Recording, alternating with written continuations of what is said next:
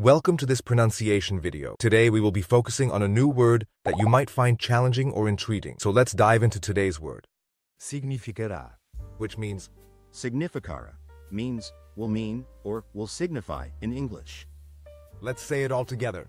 significará, significará, significará, One more time. significará, significará, significará. Thank you for joining us on this adventure in pronunciation. Remember, language is a journey, not a destination. Keep exploring, experimenting, and expanding your linguistic horizons. We'll see you next time.